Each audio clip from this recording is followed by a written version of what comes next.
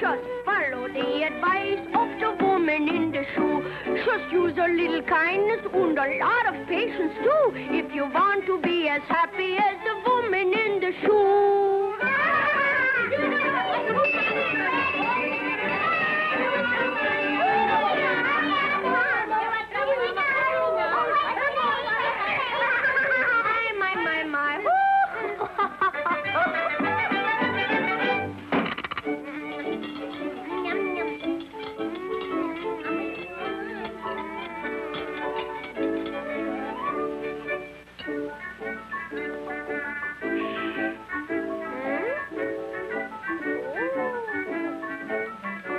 Oh, I got something, see? Ah.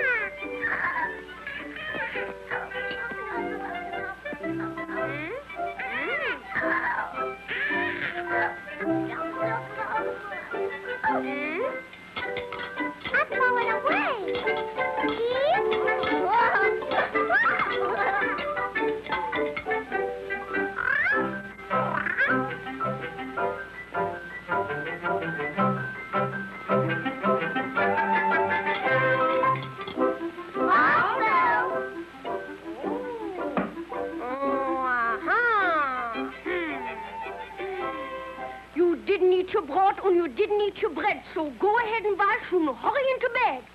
Shoo, shoo.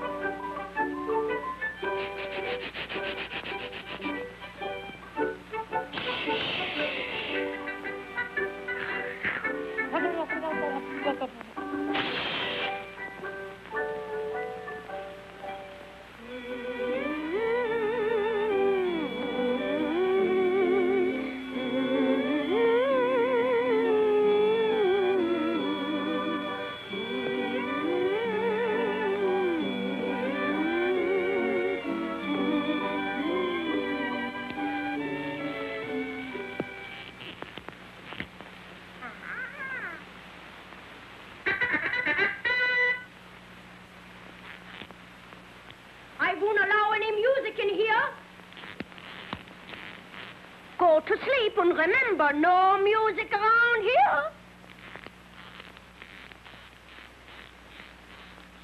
Ah.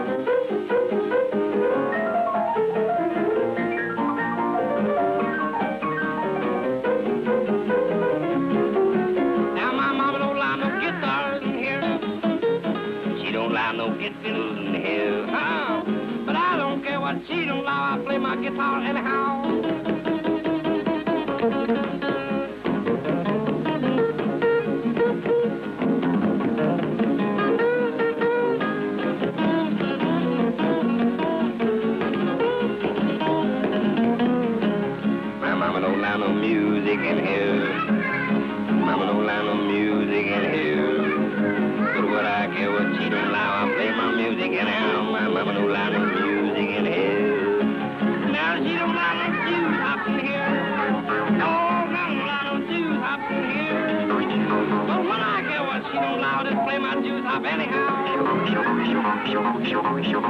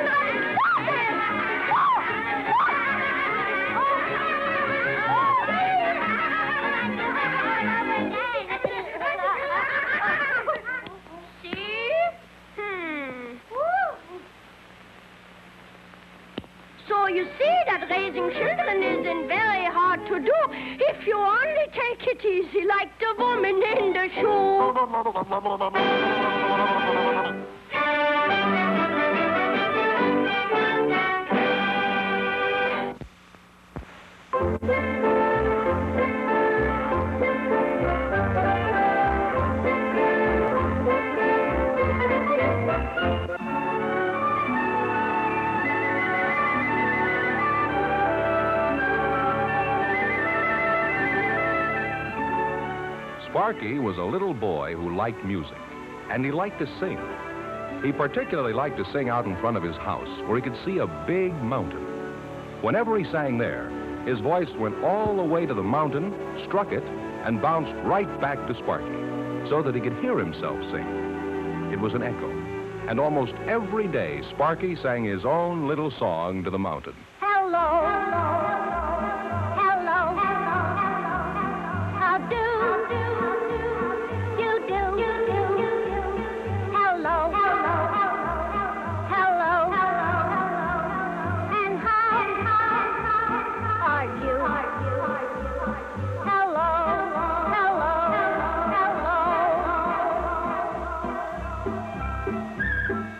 One day, as usual, Sparky stood in front of his house where he could see the mountain in the distance, and he began to sing his song.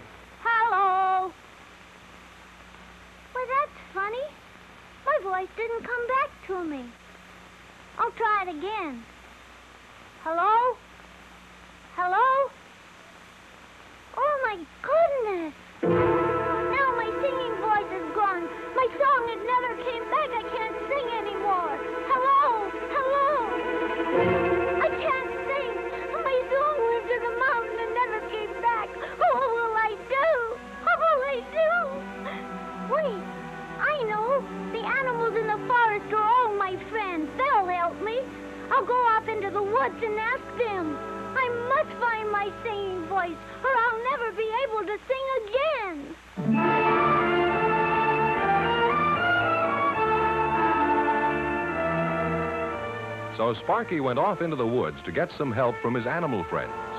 The first animal he came to was a bear. Uh, Mr. Bear, have you seen my singing voice anyplace? Oh, sing your voice? Oh, that's silly. How can you see a voice? A voice is a thing that must be heard, because you can't see the spoken word. To see a voice would be absurd. absurd means silly, you know.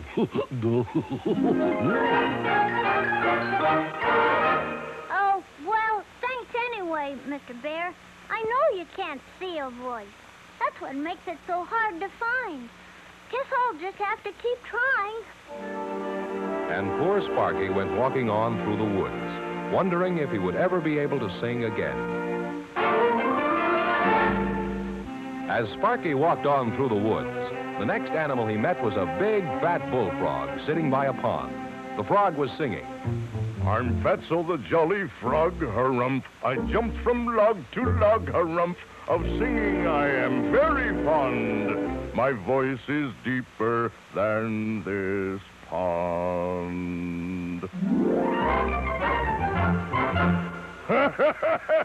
Hello, Sparky. What can I do for you?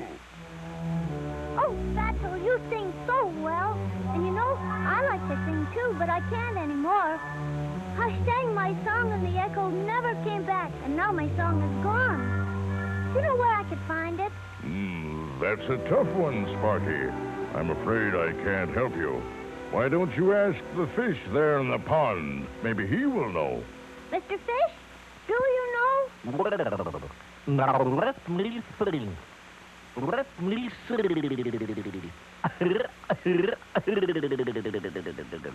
That's too hard a question for me, Sparky.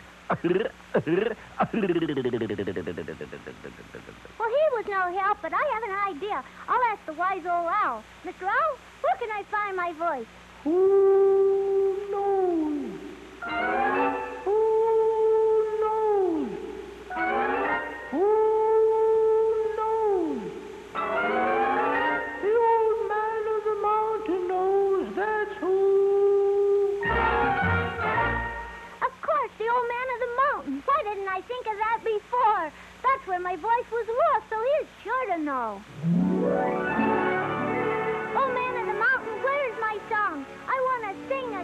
Why, Sparky, it got caught in that cave over there. Wait, I'll move this rock and let it out. Mm. Oh. Mm. Ah, there you are, Sparky.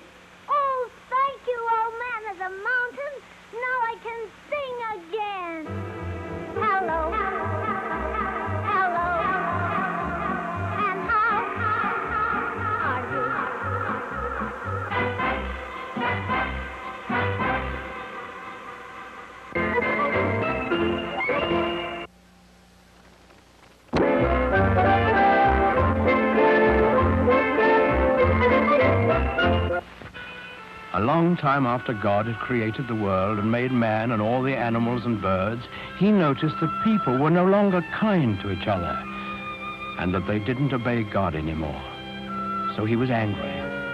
But God did see one man in the world who was kind and good and who obeyed the Lord's word. This man was Noah. So God appeared to Noah and he let him hear his voice. And the Lord said, Behold, I will cause it to rain upon the earth forty days and forty nights. I will bring a flood upon the earth to destroy all flesh, and everything that is in the earth shall die. But God told Noah to build an ark and to take two of every animal in it with him to keep alive during the storm. And when Noah had heard God's voice, he was grateful, and he set to work right away to build the ark. This was a great boat with many, many rooms in it. When Noah finally finished it, he went out into the fields and woods, for he had to talk to all kinds of animals and birds. He talked to the lion and the wild horses. He talked to the pigs in the barnyard and the elephants in the jungle and the cute little kittens in his own house. Noah talked to all the animals on the face of the earth, even to the doves, cooing in their nests.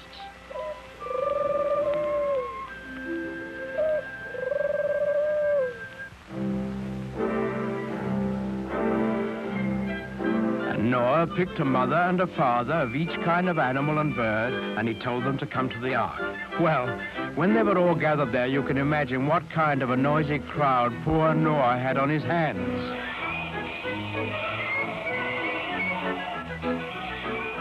What with lions roaring and pigs squealing and monkeys chattering and hyenas laughing, well, it must have been noisier than a crowd of children on the annual Sunday school excursion. But Noah was wise and gentle, and he understood about animals, so he got them lined up in a long row, two by two, and then he started them up and into the ark through the big door in the side. Uh, the bees were the last to go in. Because bees have a stinger in their tails, and no animal wanted to get in line behind them. Noah stored food in the boat, and then saw that his wife and his sons and their wives were safely inside.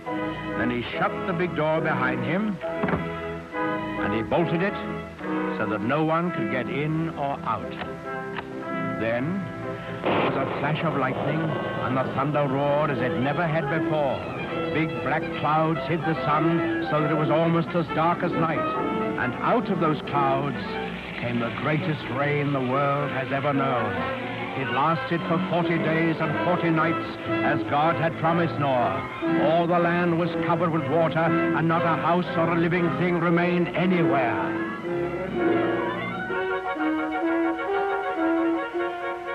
But Noah's ark floated on the surface of the waters, and he and his family and the animals who were in the ark with them were saved. On the 40th day, the rain stopped and the sun came out. The waters that had covered the earth began to flow back into the oceans and the rivers, and the ark came to rest on the peak of a mountain. But Noah wasn't quite sure that there was enough dry land for all his animals to live on. So he took one of the doves and let it fly out of the window. In a little while, it came back, and in its beak, the dove carried the branch of an olive tree. Noah knew that this must be a sign from God that he had restored quiet and peace to the world. So he opened the door of the ark, and he and his family and all the animals came out on the dry land, and they praised God and thanked him. Then the Lord appeared again to Noah. He promised him that he would never again send a flood to destroy the earth, and he sealed that promise with a beautiful symbol, which he set in the sky for all of us to see. That symbol, the token of God's everlasting faith in man, is the rainbow.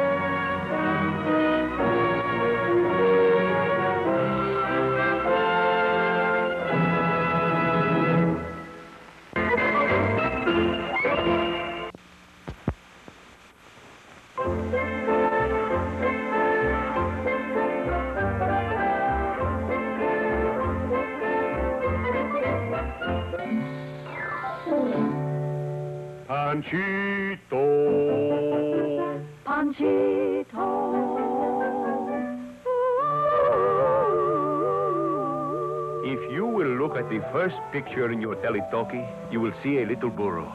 His name is Panchito. He's the little fellow with the big ears. One day his mama and papa brought him to the village so he could hear the animals make music. Panchito, he said, Hello, little animals. I would like to sing with you. so the little chicken, she clucked. The little goose, he honked. And the little pig, he squealed. But when Panchito tried to bray, out came nothing. He tried and he tried, but no hee-haw. And right away, the little animals made up a song about him. Panchito. He is a good little burro, but he cannot bray. Cannot he, cannot it is awful. Panchito. The gooses and geeses, their nephews and nieces all say. What a shame, such a shame. Too bad for the parents of little Panchito. Panchito has ruined their name. Panchito.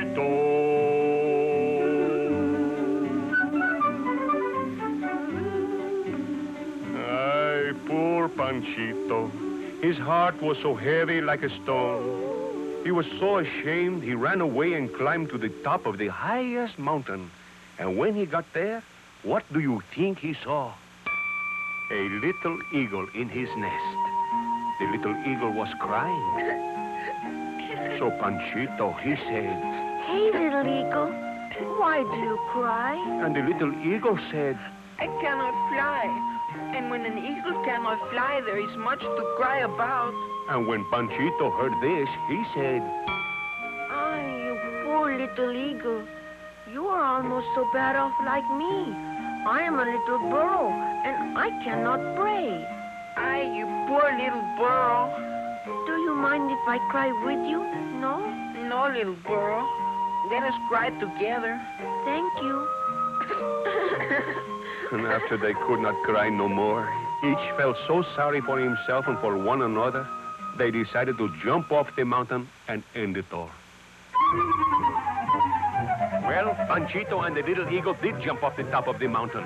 But as they were falling down and down, suddenly the little eagle called out. Look, look, my wings are flying.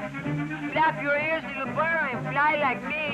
I can't. I can't. And the ground kept getting bigger and bigger and closer and closer and more bigger. But just before the ground got big enough to hit Panchito, the little eagle grabbed him by the tail.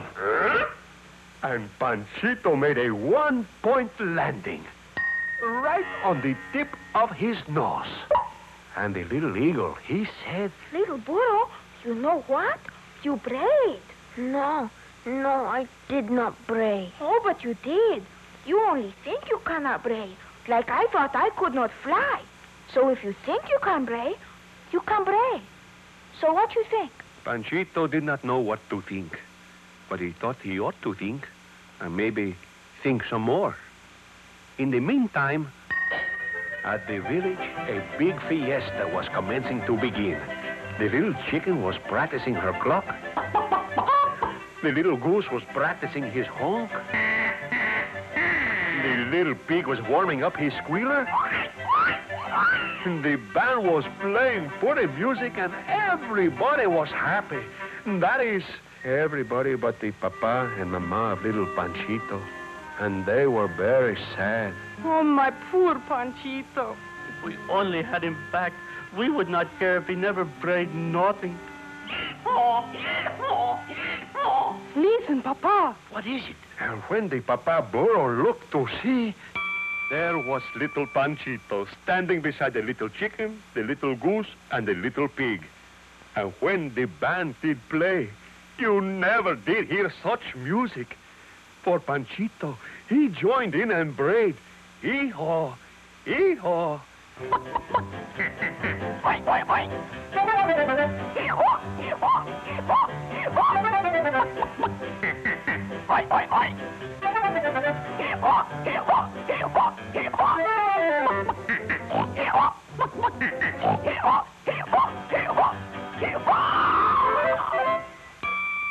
And now little Panchito makes the biggest and most beautiful hee-haw in all Mexico. Which goes to prove, if you think you cannot, you cannot. But if you think you can, you can. I think.